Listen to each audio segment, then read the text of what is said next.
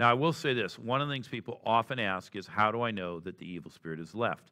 And there is a, there's a phenomenon that if you were to, if you were to uh, plot a chart with an x and a y axis, if you were to plot that chart where the, the y axis is plotting the level of power or the level of manifestation, and the x axis is plotting time elapsed, what, what happens is as the spirit begins to manifest and it's going to be driven out, it will start at whatever state it does, and there'll be a curve. It might be sloped more gently, it might be very steep, but whatever. There's a curve as that demon manifests, and sooner or later you're going to hit the top of that curve.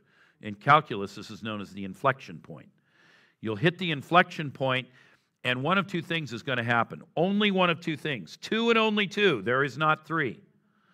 The first option is it will go over the edge and off the cliff, and the power curve will drop because that demon left. That's what you're looking for. That's the desired outcome, and generally that'll be what goes on.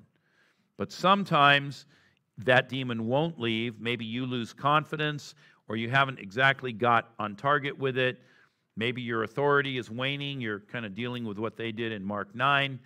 But you hit that top of the curve, you hit the inflection point, and you come back down the power curve, which is to say, the level of manifestation drops, and in vernacular, the demon goes back down the hole.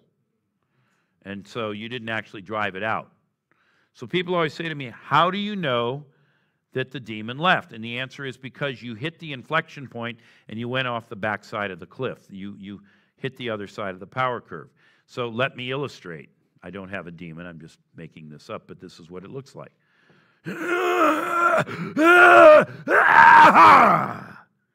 Did you see it go over the peak and the power the back end of the power curve? Okay. When you don't have that effect, it looks more like this. That's rolling back down the slope. So now that you've seen me mimic it, when you see it in real life, you'll know and you can instantly say, that demon left. Or it didn't leave, we got to command it again. Or it's attached to something, we need to do some inner healing or repentance of sin or, you know, whatever that other stuff is that we've been talking about, that's how we're going to get it out.